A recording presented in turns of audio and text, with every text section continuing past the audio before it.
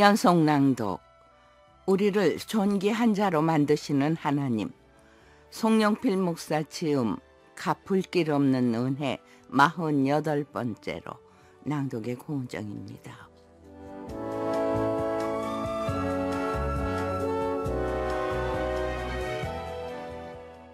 만약 그 방송국을 우리 극동방송이 구입해 복음을 전한다면 러시아는 물론이고 북한과 중국, 몽골, 일본 전 지역이 선명하게 방송을 들을 수 있다는 것을 알게 됐다. 극동방송 일본 지사의 의견을 물었더니 대환영이었다. 난 하나님께 그 방송국 구입의 필요성과 구입할 수 있게 인도해 주시길 기도하고 김정한 목사님께 보고했다.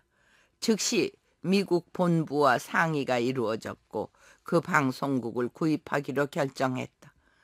그런데 계약을 하기 위해 회의를 할 때마다 구매가를 점점 더 높이 요구해 재정 부담의 어려움을 느끼게 됐다. 우리는 다시 기도와 회의를 하며 하나님의 뜻이 무엇인지 물었다. 그때 1991년 10월 영국 쉐필드에서 전 세계 극동방송 책임자 회의가 열렸다. 그 회의에서 김장한 목사님의 발의로 FBC 러시아를 세우기로 결의하고 1992년 3월 15일부터 하바로브스크의 POR 8이라는 방송망을 빌려 하루 한 시간씩 한국어와 러시아어로 복음 방송을 보내기 시작했다. 그러면서 러시아 극동방송 설립을 위해 서울 극동방송 마당에서 특별 기금 마련 바자회를 열었는데 청취자들의 큰 호응이 있었다. 이 바자회의 그 수익금과 한국 도자기 이규숙 권사님의 5천만 원 특별 헌금이 기초가 되어 1992년 9월 12일 현지에서 러시아 극동방송 4옥 기공 예배를 드리기에 이르렀다. 하지만 그 후에도 당시 러시아의 열악한 경제 형편 때문에 자재와 인력 수급이 원활하지 못해 공사가 자주 중단되었고 준공 예정일도 연기되는 등 우여곡절 끝에 1995년 6월 1일 드디어 완공될 수가 있었다. 헌당식 때 김장한 목사님이 이 건물은 러시아, 미국, 한국 성도들의 기도와 믿음으로 지어진 열매입니다. 또한 하나님이 이웃을 사랑하기 때문에 지어진 열매입니다. 라고 말씀하셨는데 그때 뜨거운 감사가 지금도 잊혀지지 않는다. 마치 사무엘상 9장에 보면 하나님께서 청년 사울에게 사무엘을 만나게 하기 위해 집안에 있던 귀한 암나기를 잃게 해서 암나기를 찾으러 3일 길을 가게 해 사무엘을 만나게 하시고 왕이 될 것을 예언받게 하심과 같은 경우라는 생각이 들었다. 그 후에 지금 내가 예상하지 못한 사이에도 하나님은 하나님과 나를 위해 무엇인가를 준비하고 계시고 그 일을 위해 오늘의 일을 이끌어 가신다는 믿음을 더욱 확신하게 됐다. 정말 하나님은 놀랍게 일하시는 분이시다. 내 짧은 생각으로 어찌 광대하신 하나님의 생각을 알랴. 묵묵히 하루하루 하나님의 인도를 받아 살아가는 것이 가장 빠른 인생의 지름길이라는 것을 아는 좋은 기회가 됐다. 그리고 그때 로마서 5장 3절에서 4절 말씀이 떠올랐다.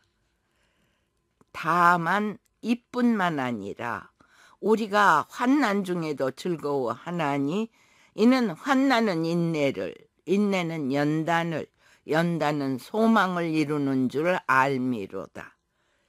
나는 그 자리에 엎드려 그간의 고난과 연단을 허락하신 하나님께 감사드렸다.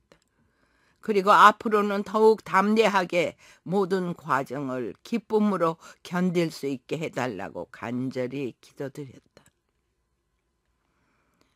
한국으로 돌아온 지 얼마 되지 않아 한 번은 세한미디어에서 방송용 테이프를 대량으로 지원받게 됐다. 그 당시 세한미디어 사장은 삼성그룹 이병철 회장님의 둘째 아들이었다. 그분의 두 아들이 디트로이트의 Wayne State University에 다닐 때 내가 목회하는 교회에 출석한 적이 있었다. 아들이 교회에 나오면서부터 달라졌다고 부모님들이 기뻐하며 극동방송으로 감사 인사를 왔었다. 그 회사는 부천에 공장이 있었는데 초대되어 견학을 갔는데 미디어 회사라 방송 테이프도 제작하고 있었다. 그는 뭐든지 필요한 게 있으면 요청하라고 했다. 나는 방송용 테이프가 필요하다고 했더니 알았다며 다음날 바로 테이프를 가득 실어 보냈다.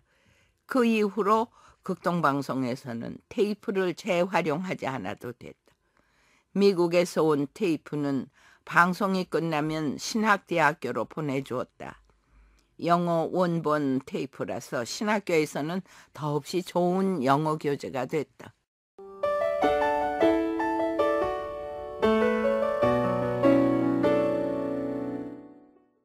지금 극동방송에서 매일 30분씩 방송되고 있는 맥기 성경 강해는 전 세계적으로 청취율이 높은 프로그램으로 5년 동안 성경 전체를 공부한다.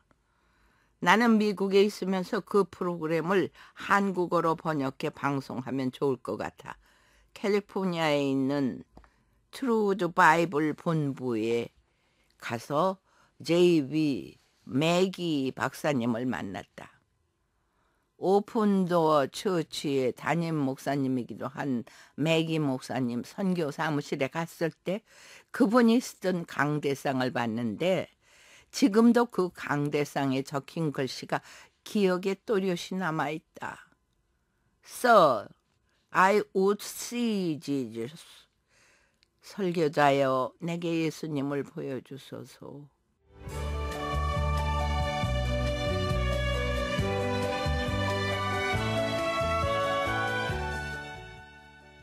연성낭독 우리를 존귀한 자로 만드시는 하나님 송영필 목사 제음 갚을 길 없는 은혜 48번째로 제작 윤재희 낭독 공정이었습니다.